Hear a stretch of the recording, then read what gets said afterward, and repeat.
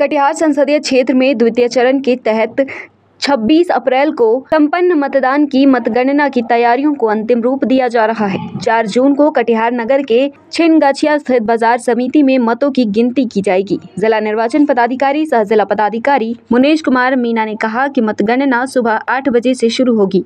मतगणना को लेकर कर्मियों को प्रशिक्षण भी दिया गया है। अलग अलग हॉल में छह विधानसभा क्षेत्रों में मतों की गिनती की जाएगी।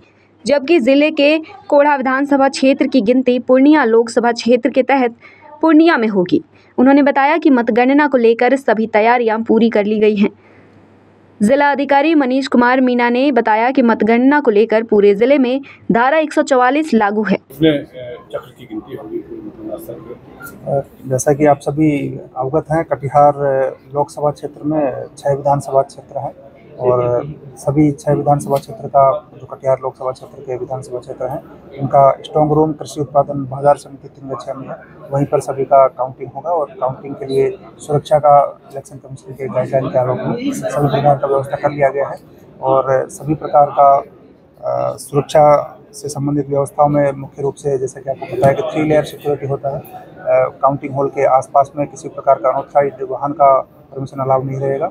और जितने भी मतगणना गणना अभिकर्ता रहेगा, उन सभी का भी पास के आधार पर उनका एंट्री होगा। इसी तरह मीडिया बंधु होंगे, उन सभी का भी पास के आधार पर एंट्री होगा। उसके अलावा कोई भी अनऑथराइज व्यक्ति का एंट्री उसमें नहीं होगा। इसलिए सभी आम व्यक्तियों से भी अनुरोध है कि उस रोड पर अनावश्यक मूवमेंट नहीं करें। किसी प्रकार का पैदल या वाहन से मूवमेंट उस रोड पर अलाउ नहीं रहेगा। इसलिए सभी लोग उस दिन सभी लोग सतर्क रहें और उस रोड पर अनावश्यक मूवमेंट नहीं रखें। साथ ही पूरे ज़िले में धारा एक वर्तमान में प्रभावी है।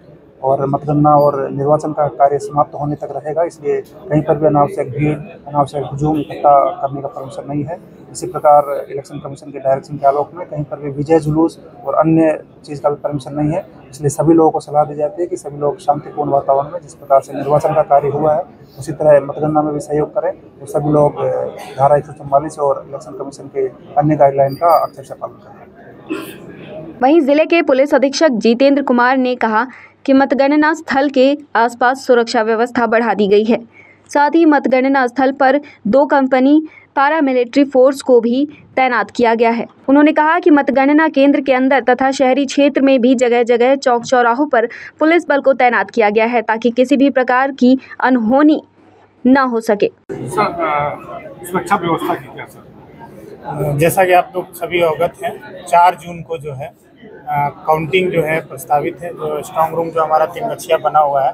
तो माननीय भारतीय निर्वाचन आयोग की जो गाइडलाइंस है, उसके अनुरूप में थ्री लेयर जो सिक्योरिटी रहती है, उसके अनुसार जो है हम लोगों ने काउंटिंग की पूरी सुरक्षा की व्यवस्था की है। इसको लेकर के दो कंपनी हमें बाहर से भी फोर्स मिल रहा है और एक कंपनी एक्स्ट्रा जो है हमें सीएपीएफ का भी मिल रहा है सेंट्रल आर्म पुलिस फोर्स का मिल रहा है। और बाकी ज़िले में जो हमारी फोर्स है, उसको भी मोबिलाइज किया गया है। तो हम सभी लोग से जो है अपील करते हैं कि मतगणना के दिन या उसके बाद भी किसी भी प्रकार का कोई भी भीड़ भाड़ या कोई भी रूमर या किसी भी बात पे आप लोग विश्वास ना करें। हमारा जो स्टेटमेंट रहेगा ऑफिशियल स्टेटमेंट रहेगा, उस पर आप विश्वास करें।